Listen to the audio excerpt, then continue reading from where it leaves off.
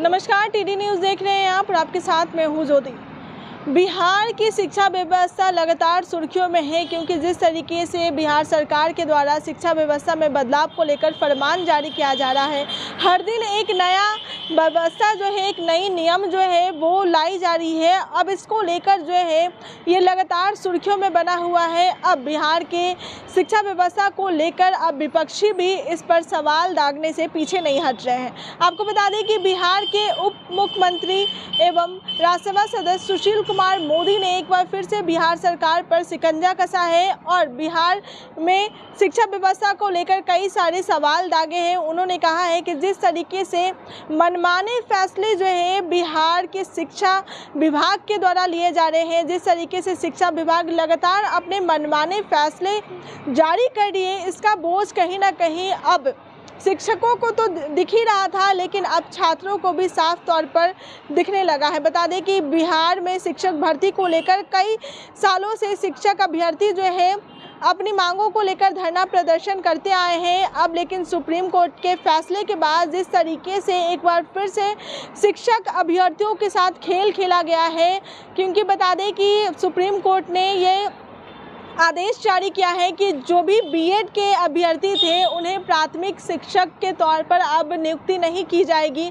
सिर्फ़ जो डीएल वाले जितने भी शिक्षक अभ्यर्थी हैं उनकी नियुक्ति जो है प्राथमिक शिक्षक के तौर पर होगी। अब इस फैसले के बाद जो है तमाम जितने भी आ, शिक्षक अभ्यर्थी है, वो काफ़ी आक्रोशित नज़र आए हैं और वो लगातार सरकार से एक बार फिर से अपनी मांगों को रख रहे हैं। वहीं आपको बता दें कि अब इस पर सुशील कुमार मोदी ने अपना बयान जारी किया है और उन्होंने कह दिया है कि किस तरीके से बिहार में मनमाना जो है, वो किया जा रहा है। बिहार सरकार के द्वारा वो साफ़ तौर पर दिख रहा है। एक तरफ़ जहाँ हेड को अब पढ़ाई लिखाई छोड़कर उन्हें बोरा बेचने का काम दे दिया गया है, वहीं पर कुलपतियों का जो है वेतन रोक दिया गया है। अब इस तरीके के व्यवहार जो है शिक्षक अभ्यर्थियों के साथ करना, ये सरासर गलत है।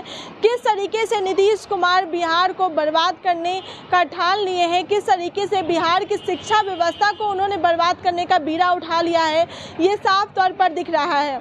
क्योंकि अब इसका भुगतान जो है, कहीं ना कहीं बिहार के जितने भी भविष्य हैं, यानी बिहार के जितने भी युवा हैं, छात्र हैं उनको कहीं ना कहीं इसका झेलना पड़ रहा है कि किस तरीके से इनके मनमाने फैसले से अब उनके भविष्य पर असर जो है वो पड़ने लगा है।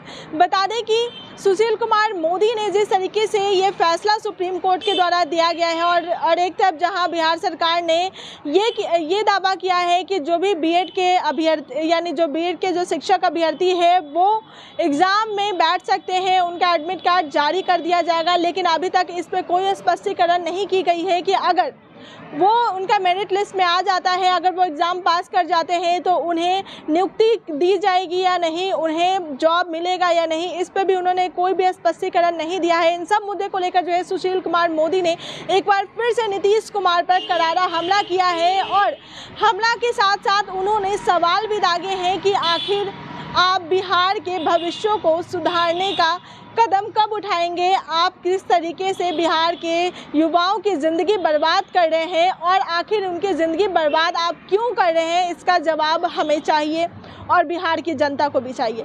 फ़िलहाल इस मुद्दे को लेकर आपकी क्या राय है? हमें कमेंट बॉक्स में कमेंट करके ज़रूर बताएँ। अब तक हमारे चैनल को लाइक और सब्सक्राइब नहीं किया है तो इसे जल्द से जल्द लाइक और सब्सक्राइब कर ले। मिलते हैं नेक्स्ट वीडियो में। तब तक के लिए धन्यवाद।